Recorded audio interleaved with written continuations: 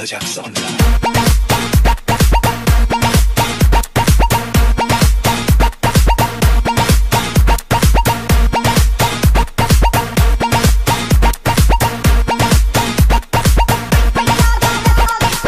Yak yak beni yak ama